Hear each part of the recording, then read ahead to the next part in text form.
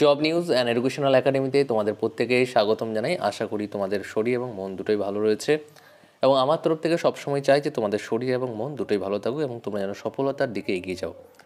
আজকের বিষয়বস্তু হলো প্রাইমারি ইন্টারভিউ নোটিফিকেশন কবে আসতে পারে, কত নম্বর পেলে তুমি সেফ জোনে থাকবে ইন্টারভিউ জন্য কীভাবে প্রস্তুতি নেওয়া প্রয়োজন, এই নিয়ে কিছু কথা আমি বলব। কারণ এই রিলেটেড অনেক বেশি প্রশ্ন আসছে আমার কাছে যে, স্যার, আমার পঁচিশ একাডেমিক স্কোর আমার ছাব্বিশ, আমার সাতাশ আমার কি কোনো চান্স রয়েছে? এই নিয়ে আলোচনা করা হবে যাতে তোমাদের এই প্রশ্নগুলো আর যেন না থাকে। আর কত পেলে তোমার সেফ জনের মধ্যে থাকবে এটা গুরুত্বপূর্ণ বিষয়। আর কত ভ্যাকেন্সি থাকবে সেটাও একবার বলে দেবো। এবং general SC ST OBC PH ex para teacher এ সমস্ত বিষয় নিয়ে আলোচনা হবে। তাহলে প্রাইমারি ইন্টারভিউ নোটিফিকেশন আমি যেটাই বলেছিলাম সেটাই। সেটা হচ্ছে পুজোর পরে। অর্থাৎ প্রাইমারি ইন্টারভিউ নোটিফিকেশন তোমাদের কালী পুজোর পরে আসার সম্ভাবনা প্রবল প্রবল, অনেক বেশি। অনেক ইউটিউব চ্যানেল তোমাদের এখন থেকে বলবে, কিন্তু এখন নয়। আমাদের চ্যানেলে কখনোই সেপ্টেম্বরে আসবে বলিনি। তার কারণ হচ্ছে একদমই লজিক্যাল তুমি ভেবে যদি দেখো, তো সেপ্টেম্বরে আসার কোনো সম্ভাবনা নেই। সেপ্টেম্বরে যদি আসতো, তাহলে এই চ্যানেল বলে দিত। তাই তোমাদের চিন্তার কোনো কারণ নেই অথেন্টিক আপডেট পাওয়ার জন্য। আমাদের সঙ্গে যুক্ত থাকার জন্য সাবস্ক্রাইব বাটনে ক্লিক করে সাবস্ক্রাইব করে পাশের বেল পুরো প্রেস করে অল নোটিফিকেশন অন রাখো, তাহলে তোমরা সমস্ত আপডেট সর্বপ্রথম পেয়ে যাবে।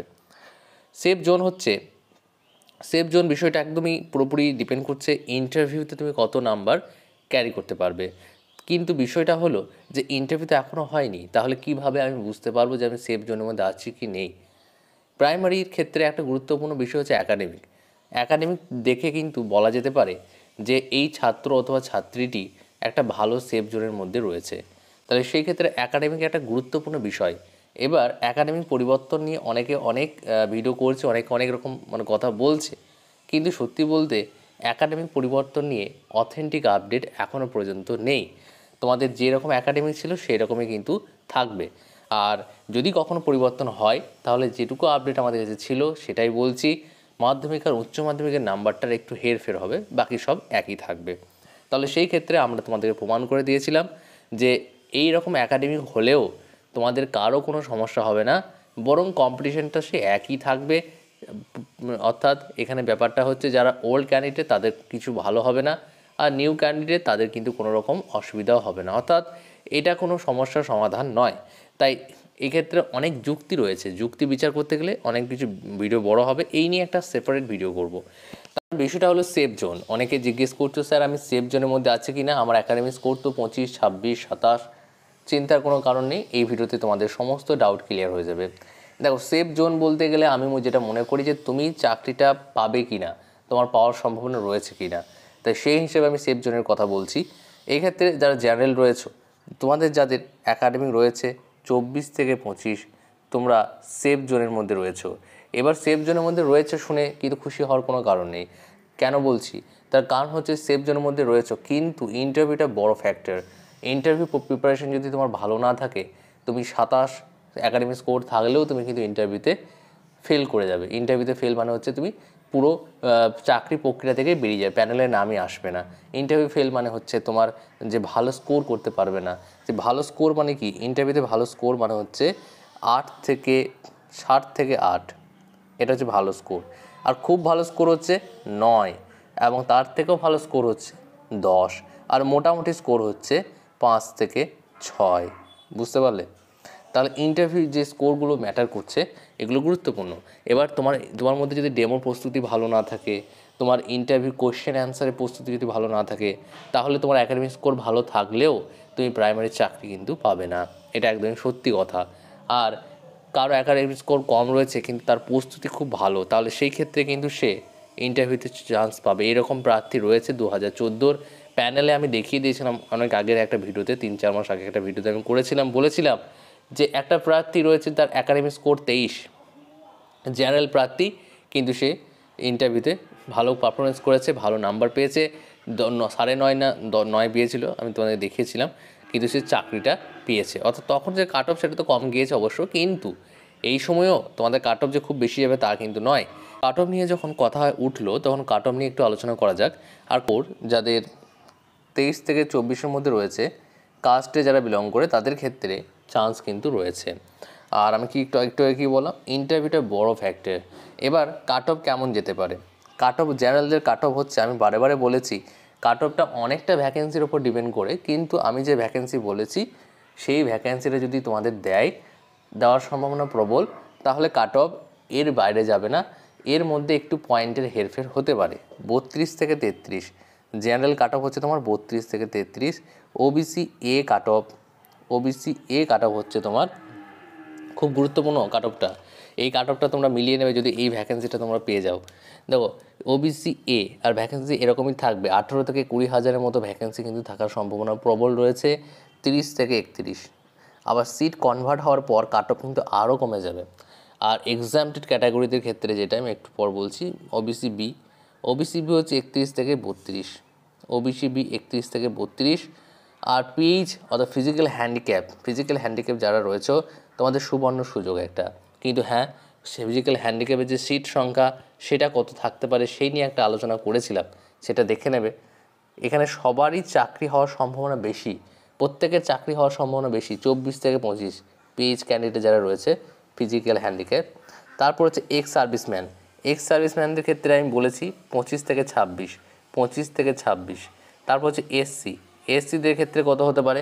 এসসি অনেক একাডেমিক স্কোর ভালো রয়েছে, তাই এসসিদের ক্ষেত্রে তোমাদের ধরা যেতে পারে তিরিশ থেকে একত্রিশ। ঠিক আছে? মানে ওবিসি এদের কাছাকাছি কিন্তু এসটিদের কাট অফ হওয়ার সম্ভাবনা প্রবল। তারপর হচ্ছে এসটি এসটিদের কাট অফ তুমি একটু দেখে নাও। এসটি যারা রয়েছে, উন আঠাশ থেকে উনত্রিশ, আঠাশ থেকে উনত্রিশ তোমাদের কাট অফ যাবে। প্যারাটিচারদের কাট অফ সাতাশ থেকে আঠাশের মধ্যে থাকবে। যে সমস্ত প্যারাটিচার রয়েছে, সাতাশ থেকে আঠাশ তোমাদের কাট অফ থাকবে।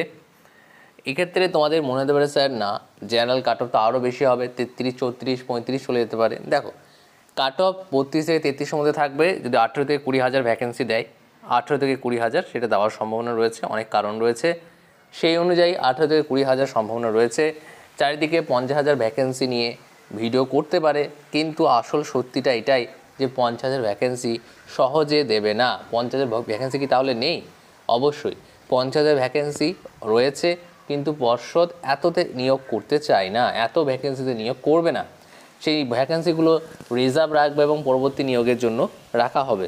তাই তোমরা যারা আমাদের চ্যানেলের সঙ্গে যুক্ত রয়েছে অথেন্টিক আপডেট সবসময় পেয়ে যাবে। তাই কাট অফ নিয়ে একটু সংক্ষিপ্ত আলোচনা করলাম। তোমাদের যদি কোনো, কারও কোনো সমস্যা থাকে, যদি কারও কারও কোনো কোয়ারি থাকে কোয়েশ্চেন থাকে, অবশ্যই কমেন্ট বক্সে করো, উত্তর পেয়ে যাবে। তাহলে সেফ জোন বলতে গেলে কি বললাম সেটা বুঝতে পারলে, যে তোমরা যারা জেনারেলের মধ্যে রয়েছো, পঁচিশ, চব্বিশ থেকে পঁচিশ যদি তোমাদের একাডেমিক স্কোর থাকে, এর মধ্যে যদি থাকে, তাহলে তুমি সেফ জোনের মধ্যে আছো। আর যারা কাস্টে বিলং করছে তাদের তেইশ থেকে চব্বিশ, এটা কিন্তু সেফ জোন ইন্টারভিউ রুমে কেমন তুমি পারফরমেন্স করে আসতে পারো? তোমার পারফরমেন্স যদি ভালো হয় মোটামুটি কত নাম্বার তুমি পেতে পারো সেটাও একটা প্রশ্ন আসছে হয়তো এই ভিডিওটা দেখতে দেখতে ইন্টারভিউ রুমে কত নাম্বার পাওয়া যেতে পারে? মিনিমাম দু নাম্বার তুমি পাবে যদি তুমি কিছুই না জানো। অর্থাৎ ইন্টারভিউ রুমে গিয়ে তুমি যদি বসে থাকো, একটা দুটো উত্তর দাও যে তো নিজের সম্বন্ধে বলুন, যখন জিজ্ঞেস করবে তুমি নিজের সম্বন্ধে বললে, দু তিনটে উত্তর দিতে পারলে, বাকি পারলে না। আর তুমি ডেমো দেখানোর সময় ডেমোটাও খুব একটা ভালো পারলে না, একদম মানে নার্ভাস হয়ে পড়লে কোনো রকম ভালোভাবে করতেই পারছ না সেই ক্ষেত্রে তুমি দু নাম্বার কিন্তু পাবে। মানে এটা ম্যাক্সিমাম ক্যান্ডিডেট যারা একদমই মানে জীবনে কখনোই ইন্টারভিউতে বই খুলেও দেখেনি, তারা কিন্তু পারবে না। তারা ডের পাবে, কি দুইও পেতে পারে, তাদেরকেও দুই দেওয়া হয়। কিন্তু তুমি যদি নিজে নিজে প্রিপারেশন নাও, আর যদি ভালোভাবে প্রস্তুতি নাও, বই পড়ো, তাহলে সেই ক্ষেত্রে তুমি পাঁচ থেকে ছয় পেতে পারো।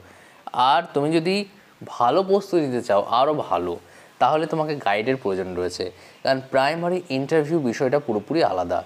অন্যান্য ইন্টারভিউতে সাইকোলজি খুব একটা কাজ করে না। কিন্তু প্রাইমারি ইন্টারভিউতে সাইকোলজি খুব বেশি কাজ করে। অর্থাৎ বাচ্চাদের মনস্তাত্ত্বিক যে বিষয় সেটা তোমাকে বুঝতে হবে। এখানে একটা সাইকোলজি রয়েছে, তো বাচ্চাদের সাইকোলজি কী সেটা তোমাকে বুঝতে হবে। সেই অনুযায়ী তোমাকে উত্তর দিতে হবে। তাই এই প্রাইমারি ইন্টারভিউ বিষয়টা পুরোপুরি আলাদা বিষয়। এর জন্য প্রপার গাইডের প্রয়োজন।